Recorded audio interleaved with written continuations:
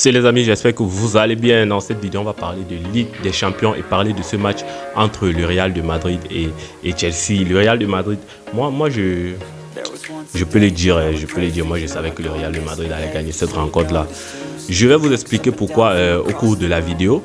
Mais moi, j'avais juste un doute sur le score. Je me demandais est-ce que ça va être un score large, est-ce que ça va être un petit score? Donc, c'est à ce niveau-là que moi j'avais un doute. Sinon, sur la victoire du Real, moi je n'avais aucun doute. Et euh, je vous explique pourquoi. On va d'abord parler euh, du déroulement de cette rencontre-là. On rappelle le score 2 buts à 0 euh, en faveur Real de Madrid, bien sûr. But de Karim Benzema à la 21e minute et de Marco Asensio à la 74e minute. On va dire que dans l'ensemble, le Real de Madrid a dominé complètement cette rencontre-là sur tous les plans de jeu ici devant moi.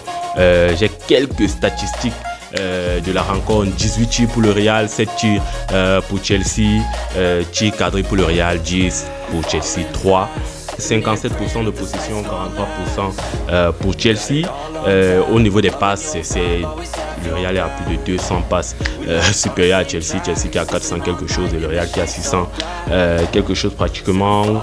au niveau des fautes, c'est égal, ça s'est joué à 10, 10 fautes. Mais on a vu que les, fautes du Real de Madrid euh, avaient plus, je vais dire entre guillemets, d'enjeu que celles euh, de Chelsea parce que c'était plus vers l'avant, ça même causé un carton rouge à cette équipe de, Chelsea là. Et au niveau des corners, 3, 3 partout. Donc là, c'est quelques statistiques de cette rencontre. Mais dans l'ensemble de la rencontre, on a vu que le Real a complètement dominé cette rencontre. En tout cas, moi, c'est ce que j'ai vu euh, dans, dans ce match-là. Au début, oui, Chelsea qui arrivé avec de la force et tout, de l'envie. On sentait vraiment qu'il pouvait faire mal. Au début, hein, on sentait qu'il pouvait faire mal à cette équipe du, Real de Madrid. Mais le Real de Madrid en Ligue des Champions, c'est une autre équipe. Hein. On ne, personne ne peut t'expliquer ce phénomène-là. le Real de Madrid en Ligue des Champions, c'est souvent complètement une autre équipe. On ne comprend pas ce qui se passe, on ne comprend pas d'où vient ce, ce changement-là. Mais tu joues le Real en championnat, tu peux avoir la possibilité de gagner la rencontre, mais en Ligue des Champions, c'est très très très difficile. Euh, moi, après cette rencontre-là, je ne pense pas que Chelsea puisse euh, faire le miracle d'éliminer le Real, Real de Madrid, mais on va parler de quelques individualités euh, dans cette équipe du Real là ce soir. Vinicius Junior nous a encore fait une masterclass. Ce jeune-là, il est trop, trop, trop fort.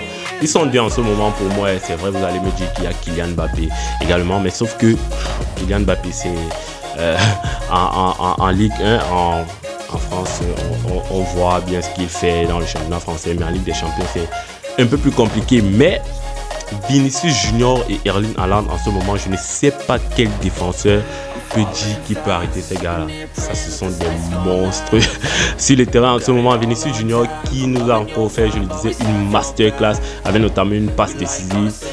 Certains vont même dire deux passes décisives parce qu'il touche quand même euh, le ballon qui conduit au but de Karim Benzema et il donne une vraie passe à Marco Asensio pour euh, le deuxième but. Donc, Vinicius Junior actuellement je ne sais pas comment les défenseurs vont faire pour, pour l'arrêter parce que c'est ça monte, ça monte, ça ne cesse de monter. Il est technique, son jeu est plus vers l'avant qu'avant. Il a cessé euh, de nous faire des dribbles inutiles comme il faisait avant. Là, aujourd'hui, c'est plus euh, objectif, je vais dire ça comme ça.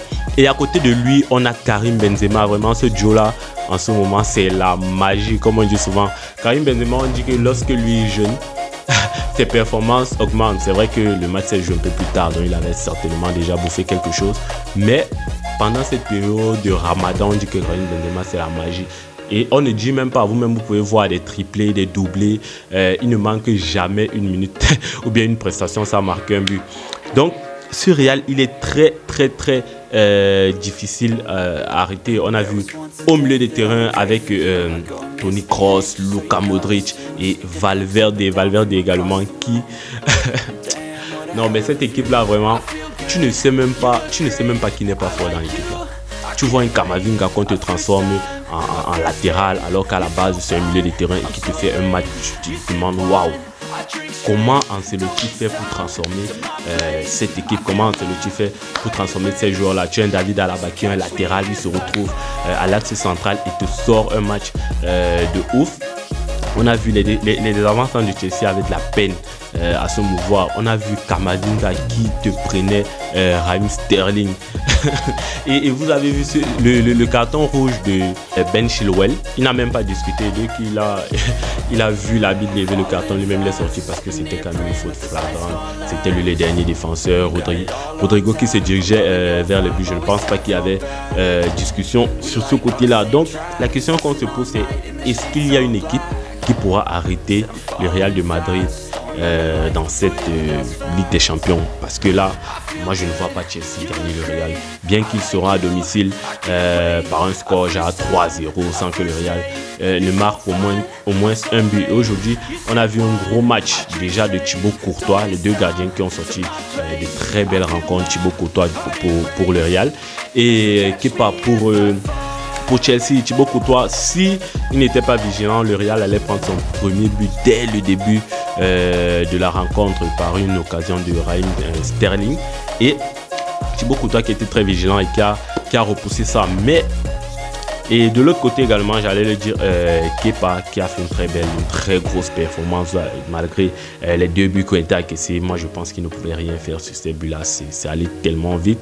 Le deuxième but d'Asensio, par exemple, il est, je pense qu'il est couvert par euh, tous les défenseurs qui sont, devant lui. Euh, lorsque Vinicius fait cette, cette passe en, retrait pour, euh, pour Asensio.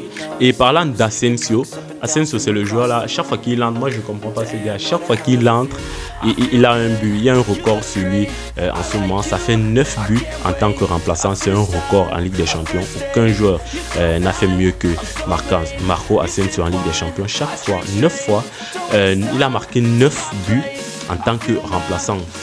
C'est assez énorme et c'est toujours dans des matchs stratégiques c'est jamais dans des matchs où tu vas te dire euh, le Real affronte Apoel, le Real affronte, euh, je vais prendre Besiktas ou bien euh, n'importe qui. C'est toujours des matchs très importants. Tu vas te voir dans un Liverpool, tu vas te voir dans un, comme aujourd'hui, dans un Chelsea.